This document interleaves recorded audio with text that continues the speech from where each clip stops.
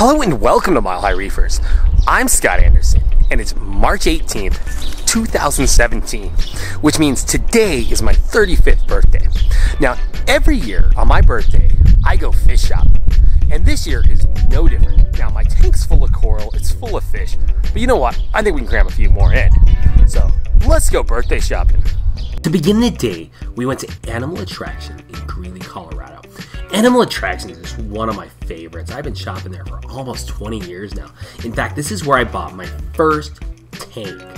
Now, I love this store. They have a full line of freshwater, reptiles, and what matters to me, saltwater. They've got two frag tanks stuffed full of coral, a big fish room.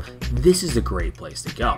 The other thing that was awesome about Animal Attraction on that day is the night before, they had just got a new saltwater fish and coral order, and they had a lot of really cool stuff.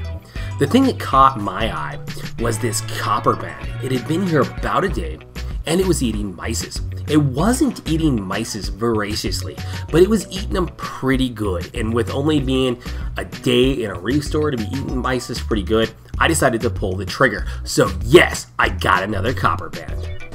So I just got home from Animal Attractions and I am quarantining the new butterfly fish. He looks really good. He was eating at the store, so we'll see how he does. Now that the copper band's in the tank, it's time for a bit of lunch. For lunch, we sat on the patio of one of my favorite restaurants, ate, drank, and had a great time. And now it's time for more fish shopping. So we went to Alpine Koi and Reef. Alpine Koi and Reef is a really cool store. They have a really nice selection of fish and coral. But this store really stands apart because it's also a full pond supply store. They've got big koi, everything you would need to install a pond, and I actually think that's their bread and butter, is the pond side of the business. Nevertheless, when you're done looking at coral, it's great to go outside and see the water fixtures and the big koi and dream of the really big pond that I hope to have in the future. We were then off to the Fish Crew in Fort Collins, Colorado. The Fish Crew is an awesome store. It's really nice and again has a great selection of fish and coral. They have a huge 2,000 gallon display tank, three frag tables, just a really nice setup with high quality fish and coral. Always a fun place to go when you want to fill, kill a few hours of the day.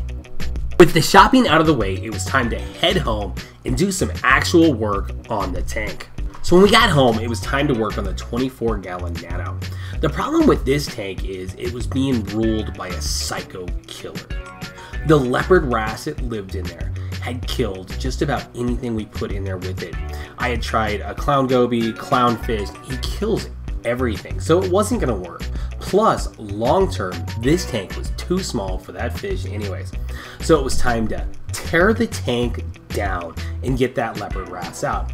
The problem is leopard wrasses hide in the sand. So we had to tear the entire tank down and catch that leopard wrasse, which meant digging through the sand until we could get him to pop up and catch him with a net.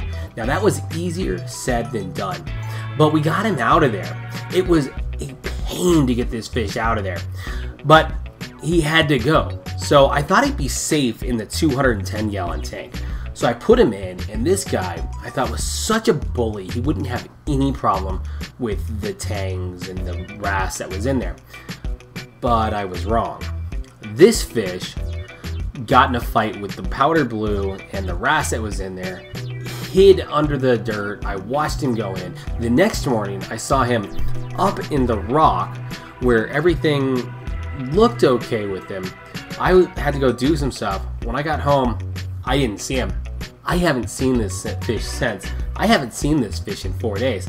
I don't know if he's hiding behind the sand. I don't know if he's gone down one of the drains into the sump downstairs. I cannot find this fish.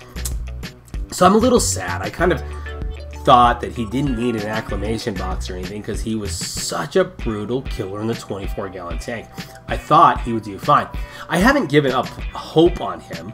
I think he might be in there alive somewhere and that he'll come out of the sand or wherever he's at. But it's been four days and I still can't find him. So that's kind of how all this goes, right? You do your best, you try to plan, and you do that. On the bright side, the 24 gallon is redone. We took the opportunity to re-aquascape it. It looks good, and now we can actually make that a nice, peaceful little reef tank. We can get some fish in there that are gonna be able to mix with other fish and do really well together. And that's really what I'm looking for in this tank. So the 24 gallon is off to a great start. I think it looks really good now that we've re-aquascaped it. Everything's done. We've taken some of the Sinularia out because it was good and overgrown. Now we've got some room for more zoanthids and other stuff, and I think it looks great. So I'm looking forward to how this tank ends up. So for more on that, watch future episodes of Mile High Reefers. Like, comment, and subscribe, and I'll see you on the next one.